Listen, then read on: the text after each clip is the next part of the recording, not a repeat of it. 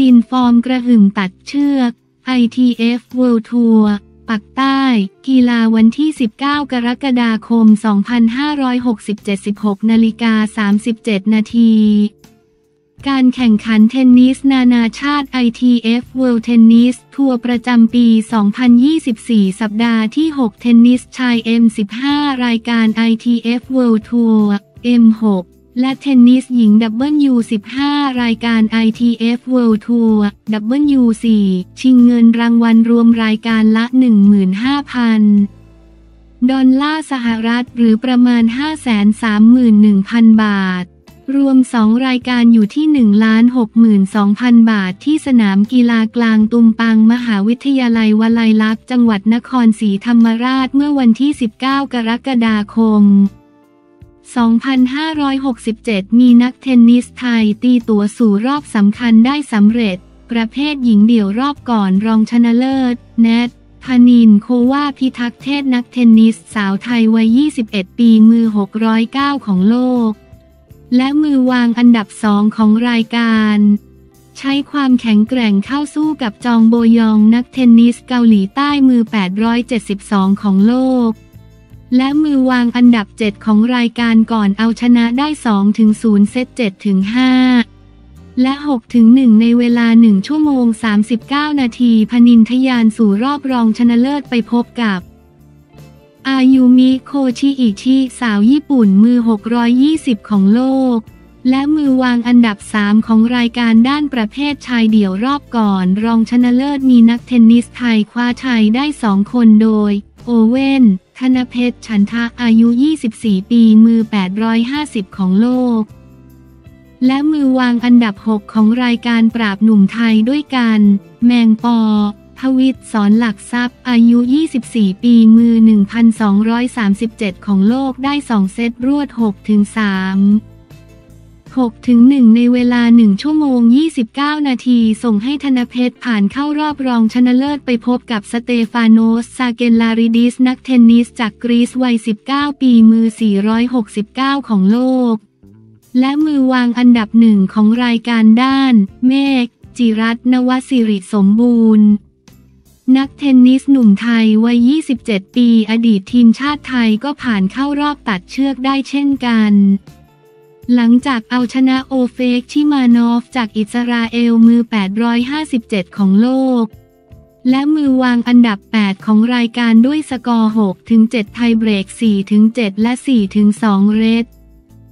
รีทาย จิรัตจะหวดรอบรองชนะเลิศกับวิษณุวาทานจากอินเดียมือ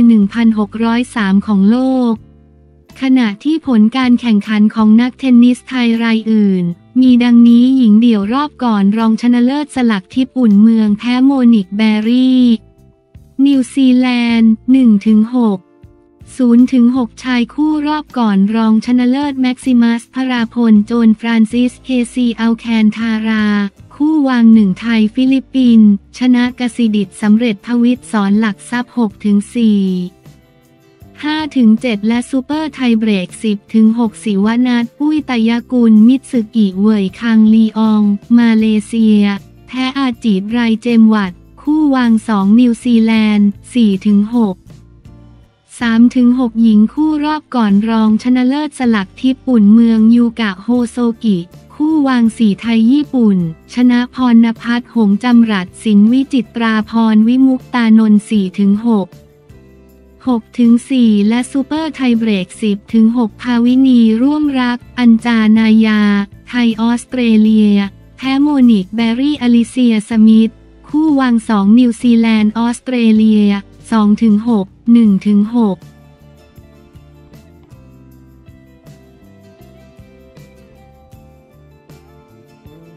จุลพันธ์ยันใช้งบ 67 เหลื่อมปี 68 ไม่ขัดกม คาดกมธ ถกเดือดหมู่สีงบดิจิทัลวอลเล็ตการเมืองวันที่ 19 กรกฎาคม 2567 10นาฬิกา3นาที จุลพันยันใช้งบประมาณ 67 เหลื่อมปี 68 ไม่ขัดกฎหมายเหตุในอดีตเคยทำมาเร่งประชุมกมทถกงบเพิ่มเติมก่อนเข็นบรรจุวาระ 2-3 วันที่ 31 กรกฎาคมเมื่อเวลา 9 นาฬิกา 10 นาที วันที่ 19 กรกฎาคม 2567 ที่รัฐสภานายจุลพันธ์อมรวิวัฒรัฐมนตรีช่วยว่าการกระทรวงคลังกล่าวถึงการประชุมคณะกรรมาธิการ กมท วิสามันพิจารณาร่างงบ รบงบประมาณรายจ่ายเพิ่มเติม ประจำปี 2567 นัดแรกวันนี้ วันที่ 19 กรกฎาคม ว่า การพิจารณาภายใต้ระยะเวลากระชั้น กรอบการพิจารณามีอยู่ไม่กี่มาตรา มีเนื้อหาจริง ๆ เป็นเรื่องของรายได้ใหม่ที่เพิ่มขึ้นและรายจ่าย 1.22 แสนล้านบาทที่เกี่ยวข้องกับโครงการดิจิทัลวอลเล็ตการพิจารณาจึงใช้เวลาไม่นานนายจุลพันธ์กล่าวต่อว่า การประชุมครั้งแรกนี้จะมีการจัดสรรตำแหน่งต่างๆ เมื่อเรียบร้อยแล้วจะเข้าสู่การประชุมทันที โดยได้เชิญสี่หน่วยงานด้านเศรษฐกิจประกอบด้วยกระทรวงการคลังสำนักงบประมาณสภาพัฒนาเศรษฐกิจและสังคมแห่งชาติ และธนาคารแห่งประเทศไทย ธนาคารแห่งประเทศไทย พื่อดูภาวะการเศรษฐกิจในปัจจุบัน รวมถึงผลกระทบต่างๆ วันนี้จะพิจารณาเพียงเท่านี้ จากนั้นจะประชุมอีกครั้งวันที่ 23 กรกฎาคม จะพิจารณารายมาตราคาดว่าจะใช้เวลามาตราสีมากที่สุด เพราะเกี่ยวข้องกับรายจ่ายในโครงการเติมเงิน 10,000 บาท ผ่านดิจิทัลวอลเล็ตแต่คงใช้เวลาไม่เกิน 2 วันในวันที่ 24 กรกฎาคม คงจบได้ส่วนวันที่ 25 กรกฎาคม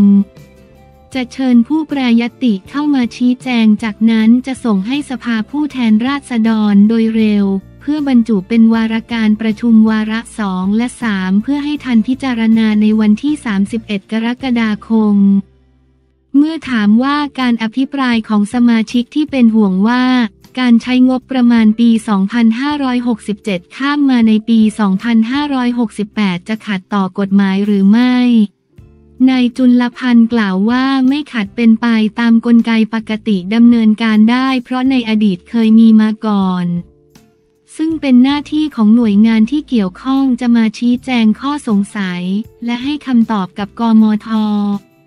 เพราะเป็นผู้ถือกฎหมาย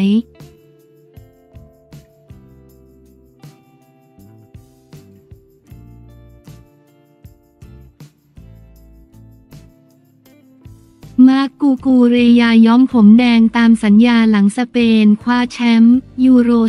2024 อัปเดตยูโร 24 วันที่ 19 กรกฎาคม 2567 17นาฬิกา 37 นาที